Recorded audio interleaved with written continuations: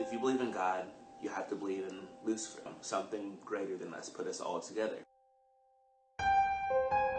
There has been moments where um, spiritual entities have tried to hold me down.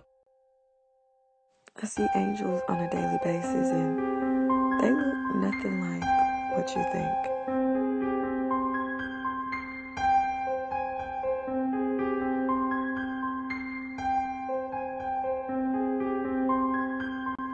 Also talk to angels and things of that nature.